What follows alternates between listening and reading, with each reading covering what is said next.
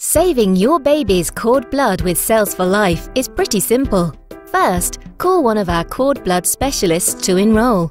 After filling out the storage agreement, you'll get your collection kit. Don't forget to inform your doctor or midwife that you want to collect your baby's cord blood. On the big day, bring your collection kit to the hospital.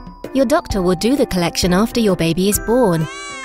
Once the collection is done, call us so we can help you arrange for the courier pickup to transport the cord blood sample to our lab.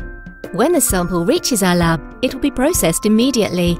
After two to three days, you will receive a report of the initial testing via SMS and email. And within four to six weeks, a certificate detailing the full results of the cord blood sample testing will be sent to you. Your cord blood sample will remain at the Cells4Life storage labs in the UK until required for use. And that's it. Congratulations! You have a lot to look forward to.